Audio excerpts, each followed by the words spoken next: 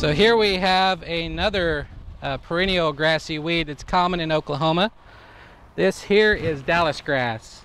And here we see the uh, typical seed head of Dallisgrass. And uh, this area has been mowed frequently, so you see how Dallisgrass has kind of adapted, uh, has this prostrate growth adapted to low mowing. If you don't mow it, it, it can get pretty tall on you. Uh, the reason this one is so tough is, is uh, it's a very hardy uh, perennial grass. Will survive the winters and come back, live as a perennial in Oklahoma. And so when, our, when we put out our pre-emergent applications, it doesn't do a whole lot to uh, stop the plants that are already living.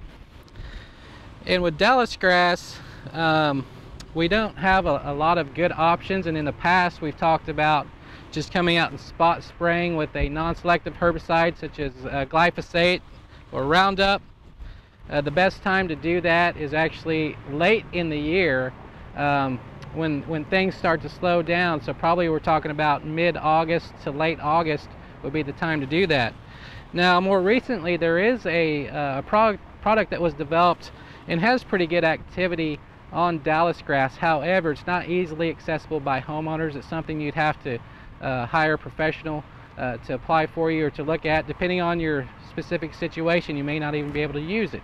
So that product is called Tribute Total, and it is, um, it does have a high premium on it. It does have a high cost to it, but that same type of timing, mid to late August, come spray Dallisgrass with Tribute Total will do a pretty good job. But it's not something that you can just spray once and it's going to take it out.